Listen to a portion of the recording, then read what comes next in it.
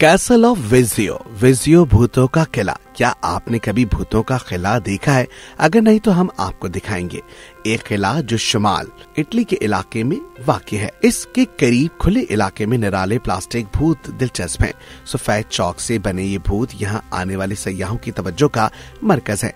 दिलचस्प बात यह है कि ये भूत मौसम गर्मा में आने वाले सयाहों की मदद से ही बनाए जाते हैं, जो सकी ऑक्स अंदाज या पोजीशन में बैठे हैं। इसके बाद फिर इसे जाली और सफ़ेद चौक से ढांप दिया जाता है और चौक के खुश्क होने तक 20 मिनट तक इस तरह रहने दिया जाता है।